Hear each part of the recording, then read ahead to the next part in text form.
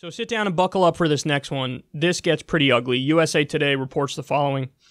A federal judge on Monday blocked a Trump administration regulation that aimed to reduce prescription drug prices.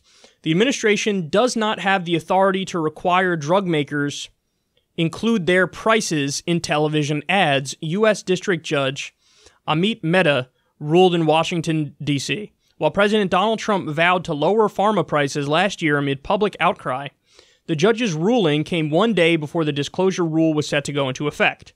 Drug makers fought the rule with a lawsuit in June. Quote, no matter how vexing the problem of spiraling drug costs may be, Health and Human Services cannot do more than what Congress has authorized, Mehta wrote.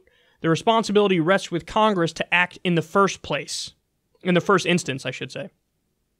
Mehta did not share Drugmaker's argument that a disclosure requirement violates companies' First Amendment rights of free speech. Instead, he noted the policy could be effective in controlling rising prescription drug costs.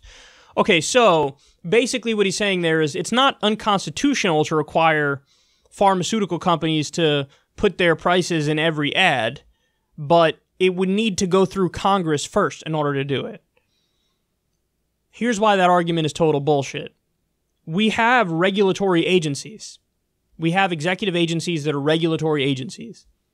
That's the whole point of these agencies.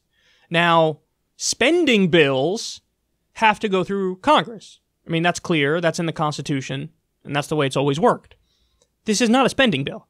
This idea very clearly does not involve the federal government spending any money. It requires forcing pharmaceutical companies to add the prices to their ads.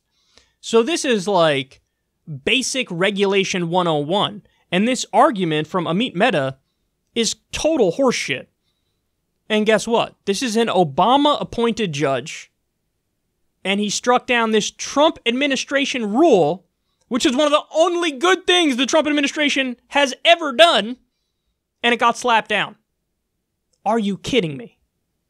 Now, let's be clear here. This plan from Trump, this is not a cure all. This isn't the end all be all. He might act like it was the end all be all, but that's because he's a ridiculous person and he's also very kind to the to the uh, big pharma companies. But yeah, this rule certainly better than nothing. And the philosophy behind it is if you force these insurance, com- not insurance companies, excuse me, these pharmaceutical companies to put their prices up with their ads, well, what's going to happen? It's going to be embarrassing for them to put what are you to do? You to write fucking $10,000 for these pills that you're trying to hawk to people? Nonsense. It's it, it would make it so that people realize that oh my god, this pharmaceutical crisis where they're price gouging the shit out of us, this isn't just in people's heads, this is real. Cuz then you make it clear to everybody in the country, not just the people who are taking the drugs. Everybody in the country knows like, "Oh, this is a real big problem." So the idea behind it is it will certainly force prices down at least a little bit and I do think that, that there is some truth to that. With that extra transparency does come a lot more responsibility and accountability.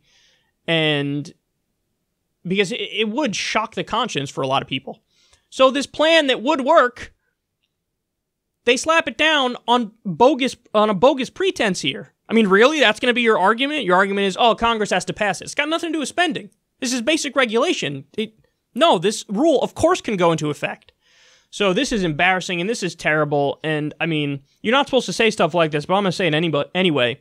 Judge Amit Mehta, people should dig into his um, whatever his investments might be, whoever he um, you know, hobnobs with at the country club, because I have a sneaking suspicion that this dude has people, friends in high places in the pharma companies, and he's really just doing them a favor. Because I think he knows, especially if it's an Obama appointed judge, he's smart enough to know that the argument he used here is total bullshit.